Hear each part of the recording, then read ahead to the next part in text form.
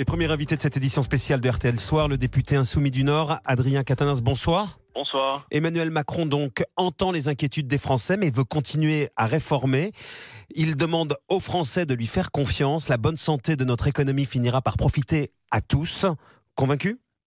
Malheureusement non. Euh, je souhaiterais bien l'être si vous voulez. J'attendais moi aussi euh, peut-être des inflexions à minima d'Emmanuel Macron, qu'il ait euh, pris la température de ce qui se passait dans le pays et on a assisté à un, entretien qui montre son imperméabilité, y compris aux inquiétudes des Français.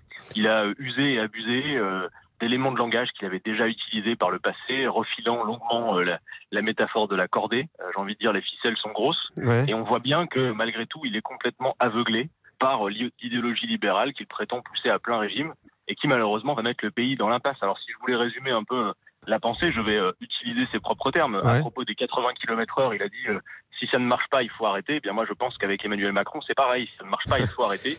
Et vraisemblablement, vu ce qu'il fait, euh, on peut penser qu'il euh, n'y en a plus pour très longtemps puisque l'impasse est réelle. Sauf que en même temps, euh, on peut peut-être lui reconnaître un certain courage, le fait d'assumer, dire je ne gouverne pas en fonction de l'opinion, j'ai dit ce que je faisais pendant la campagne et je le réalise maintenant.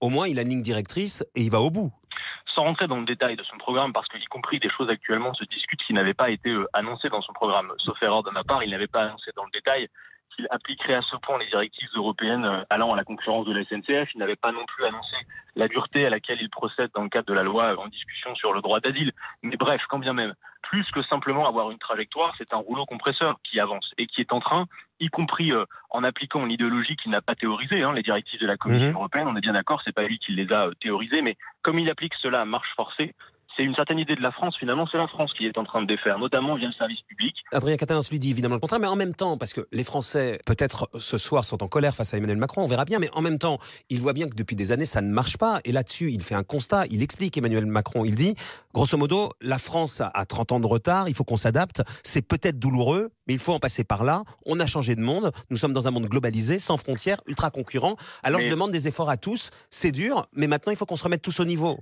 Alors d'abord, vous constaterez que les efforts ne sont pas demandés à tous, mais à quelques-uns. Monsieur Fogiel, comme moi, vous avez vu quand même que euh, la signature politique de début de quinquennat a été notamment une préférence assumée pour les plus riches. Et on a vu, y compris dans son entretien, qu'il appelle finalement euh, les moins aisés, je pensais par exemple à la séquence sur les retraités, à se partager les miettes. Donc de ce point de vue, ça n'est pas vrai. Mais quand bien même, il reste à faire la démonstration de cette efficacité. Quand il dit on va libérer le capital pour qu'il s'alloue correctement, il ne demande même pas de contrepartie.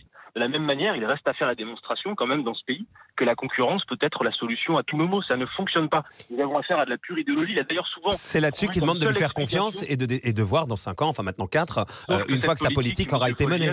Mm. Et oui, mais sauf que cette politique, on la mène déjà depuis plus de 20 ans. Alors lui, il veut simplement la mener plus vite, plus fort, mais c'est la même, profondément. Et donc l'impasse n'en sera que renforcée. Voyez, ma principale frustration quand je l'écoute, je vois tout ce que nous pourrions faire à cette heure de bien plus intelligent. Si je prends seulement l'exemple du rail, c'est 86 fois le mot concurrence dans le projet de loi qui vous est asséné. On ne parle jamais d'écologie. Vous voyez, le problème aussi, c'est qu'Emmanuel Macron, euh, je pense qu'il est conscient aujourd'hui que euh, son espace politique est restreint, qu'il n'a pas de majorité populaire pour son programme, qui est un programme de droite, étriqué. Et par ailleurs, les différents coups de force auxquels il procède, la stratégie de la tension en ce moment, vise à donner des signaux à la droite dure qu'il prétend représenter. Voilà ce qu'il est en train de faire et le redéploiement auquel il procède. Vous parlez du rail, Adrien Catenins. Il disait que son grand-père était cheminot. Il y a quelque chose qui est tapé au coin du bon sens. La SNCF d'aujourd'hui, elle peut peut-être plus être la SNCF de son grand-père. Mais vous avez raison, Marc-Olivier Fogiel, la SNCF d'aujourd'hui, si elle était euh, entre les mains d'un gouvernement de la France insoumise, ça serait un grand pôle public du rail qui s'occuperait par exemple de faire en sorte que les marchandises qui aujourd'hui circulent, vous le savez, notamment depuis qu'on a libéralisé le fret, de plus en plus sur les routes, circulent sur des trains. Or aujourd'hui, ce que fait Emmanuel Macron, c'est simplement respecter cette idéologie de la concurrence qui a par ailleurs été appliquée dans certains pays européens, je pense par exemple au Royaume-Uni, mmh. et on voit par exemple dans ce cas précis que ça ne fonctionne pas. En attendant, en attendant, Adrien Catanins, pour être concret et pragmatique, vous l'avez entendu, il maintient le il ira au bout de cette réforme par exemple de la SNCF. À quoi ça sert de continuer à s'opposer, euh, j'allais dire de façon euh, frontale, peut-être dogmatique, puisque maintenant, vous l'avez entendu, cette réforme, elle ira au bout?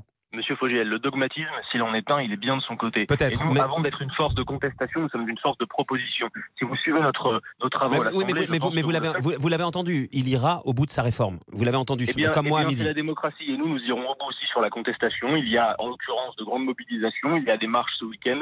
Il y en aura d'autres. Il y a plusieurs étapes. Il y a effectivement un rapport de force qui est en cours, qui est souhaité par Emmanuel Macron. Je le dis quand même à celles et ceux qui nous écoutent, la pagaille et le désordre que l'on voit partout dans ce pays, elle est bien le fait de ce pouvoir. Et par ailleurs, je peux quand même d'en parler parce qu'on ne l'a pas évoqué jusqu'ici. Moi, dans l'entretien, il y a quelque chose qui m'a particulièrement inquiété, et je pense qu'il peut toutes et tous nous inquiéter, c'est euh, la question de, du fait de suivre notamment les États-Unis d'Amérique, dans ce qui pourrait bien euh, déclencher euh, une guerre généralisée euh, en mmh. Syrie. Voilà. Et nous n'avons pas besoin de cela. Notre intérêt principal, c'est la paix. Pour conclure, en un mot, il a dit qu'il est le président de tous les Français. C'est votre président ce soir, Emmanuel Macron, Adrien Catanins Mais il est le président légitime et élu. Mais je pense qu'il représente finalement sur le fond assez peu de Français et que de plus en plus ne se sentent pas représentés sans que la politique qui est menée se joue pour une petite minorité. Ça se vérifie dans l'opinion.